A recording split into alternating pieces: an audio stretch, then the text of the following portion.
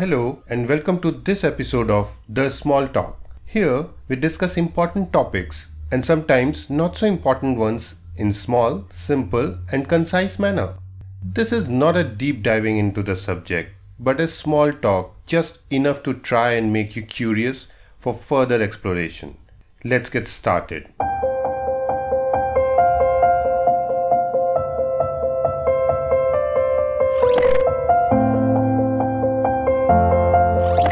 Bacteria are microscopic, single celled organisms that thrive in diverse environments.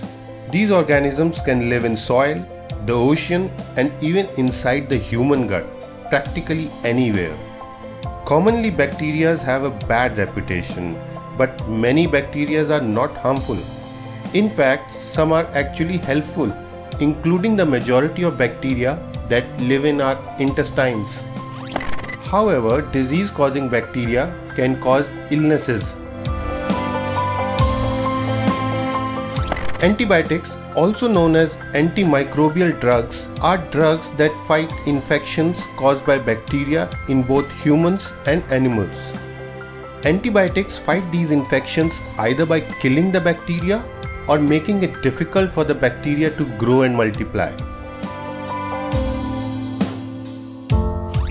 The management of microbial or bacterial infections in ancient Egypt, Greece, China, and India is well documented. However, the modern era of antibiotics started with the discovery of penicillin by Sir Alexander Fleming in 1928. Since then, antibiotics have transformed modern medicine and saved millions of lives. Antibiotics have not only saved patients' lives they have played a pivotal role in achieving major advances in medicine and surgery. Antibiotics have also helped to extend expected lifespans by changing the outcome of bacterial infections. In developing countries where sanitation is still poor, antibiotics decrease the morbidity and mortality caused by foodborne and other poverty related infections.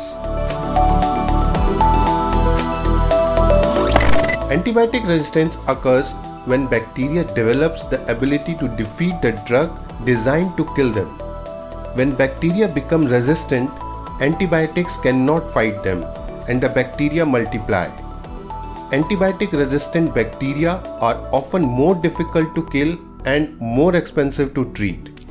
In some cases, antibiotic resistant infections can lead to serious disability or even death.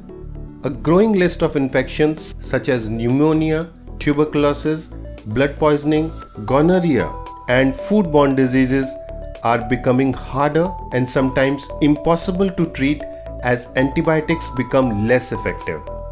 In many countries, without standard treatment guidelines, antibiotics are often prescribed by doctors, health workers, and veterinarians and are overused by the public.